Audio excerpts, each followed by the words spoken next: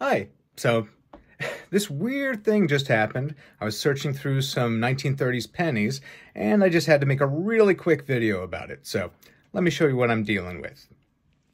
I got a huge bag of 1930s pennies, like 30-something pounds of them.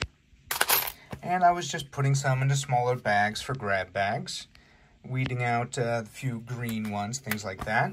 Then I saw one that had kind of a nice you know, shiny look to it, nice luster. So I was about to pick it up and then I just spied the date. I'm like, wait, that looks like a zero and a nine.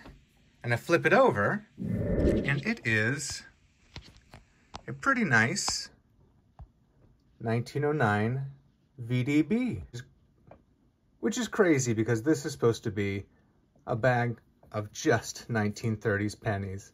And there was this 1909 VDB. That was pretty dang cool. The only semi-bad thing about that is now I'm going to have to start looking at dates more rigorously. Because I just assumed it was all 1930s, and I assumed that there weren't any, you know, nicer dates in there. But if I found that just in there, I'm going to have to pay attention now. Oh well, I'm happy with that find. Happy hunting.